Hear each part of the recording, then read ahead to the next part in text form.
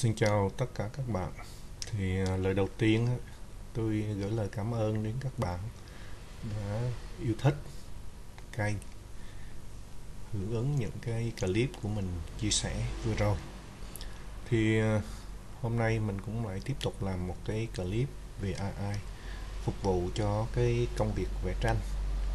Ở đây thì không riêng gì các bạn làm thiết kế mà những anh em văn phòng hay là cô dì chú bác, người lớn tuổi, người ờ, về hưu. Người ta có cái sở thích vẽ tranh của riêng người ta thì cũng có thể làm được. Nếu như các bạn yêu thích thì nhớ bấm like, subscribe và chia sẻ kênh của mình để kênh của mình ngày càng phát triển và mình sẽ có những cái clip nó hữu ích hơn, chia sẻ đến các bạn. Thì bây giờ mình sẽ bắt đầu vào cái nội dung, ha. Thì ờ, hôm nay mình sẽ giới thiệu với các bạn về một cái AI để phục vụ cho cái việc vẽ tranh. Tuy nhiên mà khi mà mình nói tới việc mà dùng AI để vẽ tranh, vẽ đồ các bạn, nhiều bạn mà đã dùng rồi thì các bạn biết rất là nhiều cái thấy nó rất là nhiều phần mềm, nhiều cái AI nhiều cái tool mà không biết cái nào là mới dùng ví dụ bây giờ mình chỉ cần lên mình gõ từ AI design là nó ra quá trời Ngay cả các anh chị em lớn tuổi cũng vậy. Mình không biết dùng cái nào.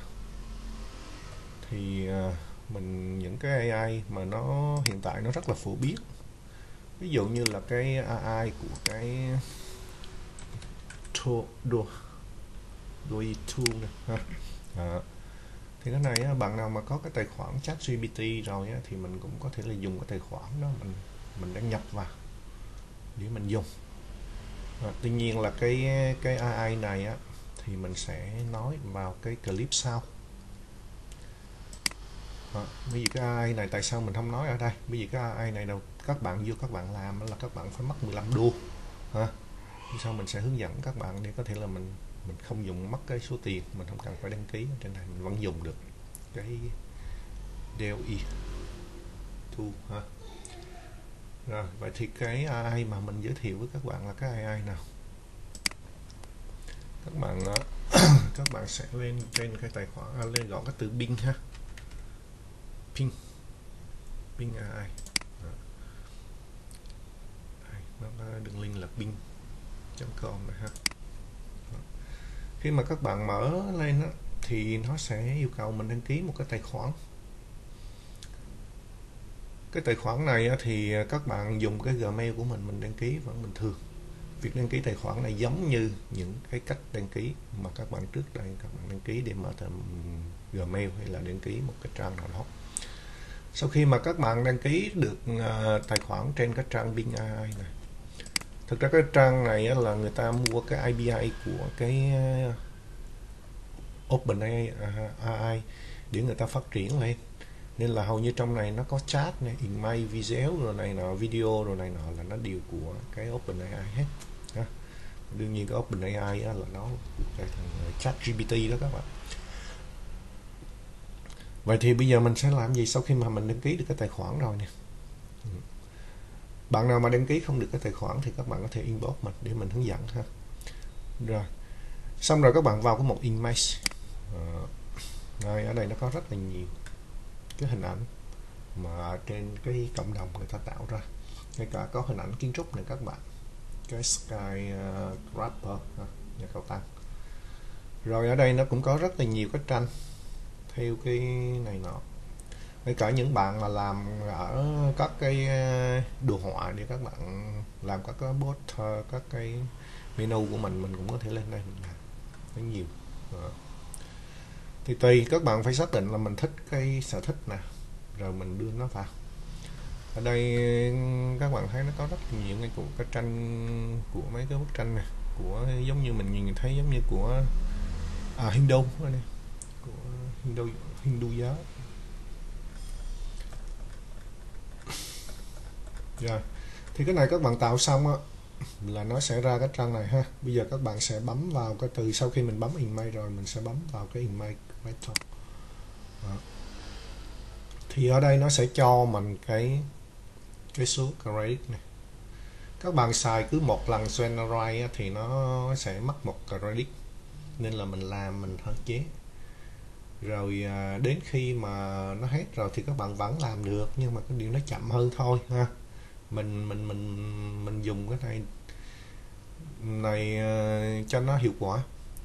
Rồi như vậy thì đây là cái giao diện mà mình sẽ làm tranh ở đây. Đó. bây giờ tôi sẽ bây giờ mình sẽ um, viết một cái văn bản vào đây ha. Cái cách thức mà tạo tranh ở đây là nó dạng là text to image. Nó nghĩa là từ một cái văn bản để ra một cái bức tranh vậy thì cái à, bây giờ mình sẽ làm một cái bức tranh đó nó như thế nào? Các bạn nhớ là mình viết bằng tiếng Anh nghe viết bằng tiếng Việt nó không hiểu đâu. Bây giờ mình sẽ những bạn nào mà giỏi tiếng Anh thì còn các bạn cũng có thể là mô tả liên thuyên gì đó. Còn những bạn nào mà không giỏi tiếng Anh thì các bạn cũng có thể sử dụng cái Google dịch. Ở đây à, mình hướng dẫn nên mình sử dụng cái Google dịch để mình mình mình làm cho những ai mà các bạn không giỏi về tiếng Anh. Bây giờ mình sẽ quay lại cái ờ, trang của mình đây ví dụ như đây là một cái trang mà mình vừa tạo ra một cái tranh của một hình con chim bói khoát cá ha. Đây mình mở cái Ui, dịch đây mình chép cái nội dung của một cái cái đoạn mà mình vừa tả nó như thế nào. Đây, thứ nhất là một cái bức tranh cái abstract vantage painting with ambient color blue có nghĩa là một cái bức tranh của trừu tượng với màu sắc xung quanh là màu xanh lam à, trong đó nó gồm có là một ít về cái màu vàng màu đen và màu trắng trong cái trong tối tối ha. Của một cái con chim à, King Sir như là chim bao có à, uh, bác uh, à, bó cá ha bay đường bay đường trên mặt nước. À, hình ảnh nó là ở dạng chuyên nghiệp chất lượng cao. À, và cái cái xúc của nó là chi tiết 8 ga vân vân và vân vân. Đó thì nó như vậy. Cái đoạn văn bản này mình sẽ bỏ ở dưới các clip. Các bạn có thể là cốt cái văn bản này cốt cái prompt này để mình có thể là sử dụng. Rồi à, các bạn căn cứ vào đây các bạn có thể là viết thành những cái prompt khác. Mình uh, quay lại cái đây ha rồi như vậy thì sau khi mà ấy xong thì mình sẽ nhập cái văn bản của mình vào đây. Rồi xong mình bấm generate trong cái thời gian generate thì các bạn chờ đợi nó. Chờ đợi. Nó đừng chạy đó các bạn.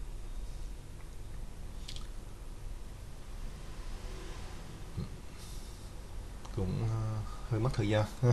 Thôi mình ráng chờ xíu ở trong cái thời gian chờ đợi này nè, thì mình cũng ờ, nói thêm. Những cái tranh ảnh này nó hay các các bạn. Ai cũng có cái sở thích mà, thích về tranh. Một cái, nó giống như là một cái ờ, món ăn tinh thần của mình mỗi người có mỗi cái sở thích, mỗi cái phong cách. Rồi, đây là một cái bức tranh mà mình vừa mô tả nó ra đây các bạn. Đây, một cái bức tranh sơn dầu vậy cũng khá là đẹp ha. Ờ, bức tranh sơn dầu, trong đó là cái màu đen này, ít màu trắng này, màu xanh này. Ờ, đó. ra như vậy. Một lần nó generate là nó được bốn bức. Rồi bức nào mình thích thì mình chọn vào download. Đó, mình tải nó về. Ờ, đó, đây mình tải nó về. Nằm ở đây. Khi mở lên mình cùng xem. Như vậy là mình đã có được một cái bức tranh theo quy muốn của mình. Mình muốn thì share lên facebook mình chọn vào đó. Có cái link này mình share. Vậy thì cái mục đích của cái tạo tranh này là ngoài cái việc mà mình làm theo cái sở thích của mình, thì nó cũng có một cách để mình nó có thể là tạo thành những cái bức tranh nó kỷ niệm của mình. Thì ở đây này các bạn, mình có một cái cái trang rồi. Khi những cái bức tranh mà mình tạo ra được là mình tạo ở trên cái bình xây và những cái bức tranh này được mình minh thành NFT cái này t này nó như thế nào thì mình sẽ nói vào những cái clip sau ha. Đó.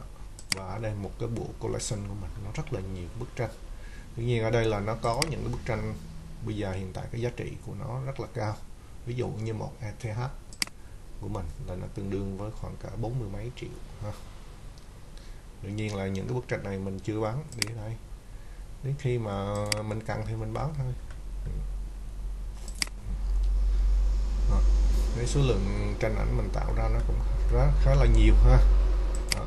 thì cái nội dung mà mình dùng cái AI này để mình tạo những cái bức tranh Đó.